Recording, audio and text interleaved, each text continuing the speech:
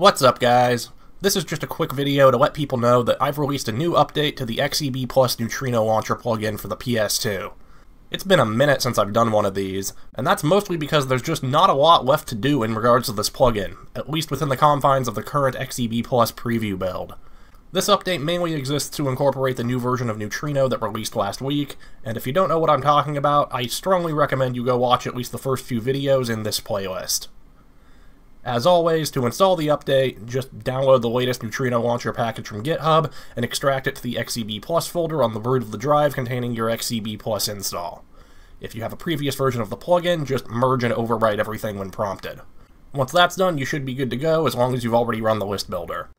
I'd also recommend re-extracting the sync app folder if you're using UDPBD, as there have been some minor changes to the server software. Now, there's only really one new feature in this update, which is the option to enable debug colors when launching a game. This feature was in the plugin previously, but was removed from Neutrino a few months back, and has been re-implemented in this most recent update. This option flashes a series of colors on screen during the game launch sequence. If Neutrino crashes while launching the game, the color the screen freezes on can be used as a sort of reference code to help diagnose the problem.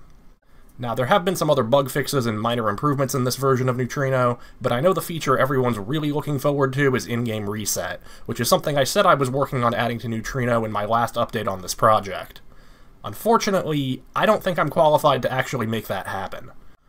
Over the past couple of months, I've spent the equivalent of multiple 24-hour days attempting to add this one feature to Neutrino, and I've not made much progress beyond what I had the last time I gave an update on this project. There are multiple reasons for this. For one, I don't have a ton of experience developing in pure C. While on paper it's very similar to other languages I've worked with extensively, in practice it's missing a lot of built-in routines and other quality of life features that I'm used to. I've found it to be extremely tedious and time-consuming to develop even relatively basic functionality in C. On top of that, the PS2 development tools are some of the clunkiest I've ever worked with, and they definitely have a few bugs. When something goes wrong and I can't immediately figure it out, I find myself second guessing whether it's something I screwed up or if I hit a bug in the compiler, which obviously isn't great. Now, that stuff obviously limits my ability to make progress, but if that was it, I could probably push through like I did when I created my fork of cheat device.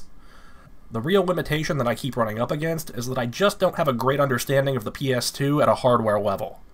I can write string parsers and build out data structures for days, but when I have to start manipulating individual memory addresses or hardware registers by hand, that's where my mental models begin to break down and my brain just fizzles out.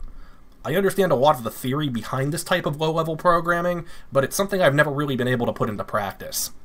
For example, I tried teaching myself 6502 assembly a number of years ago, and I got lost trying to do anything more complex than draw a single color to the screen.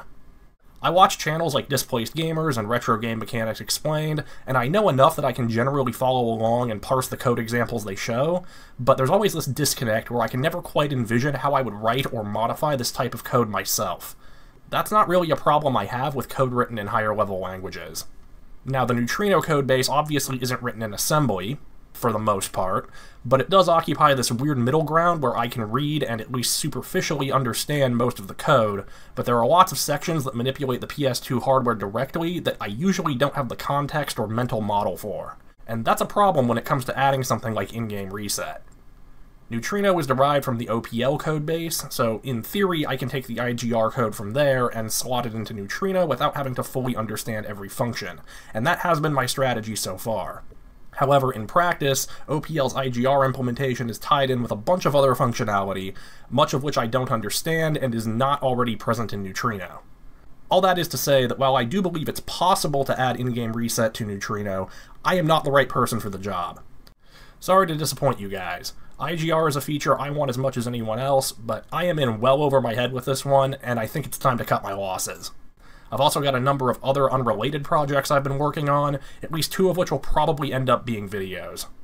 So while my PS2 development efforts are kind of on hold for the time being, I have been keeping busy, I've got more things cooking, and you should subscribe if you want to see what I've been working on. As always, a huge thank you to my channel members. I genuinely appreciate your patience and continued support while I've been working on this stuff. Feel free to join them at the link below if you want to support me, and I will see you guys later.